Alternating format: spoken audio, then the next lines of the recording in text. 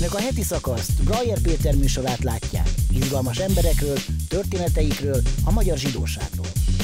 Nézőink közül sokan nem tudják, mi is az a Joint, mióta van Magyarországon, mióta nem betiltott intézet. A Joint, American Jewish Joint Distribution Committee-nak a rövidítése Magyarországon alapítványként működik.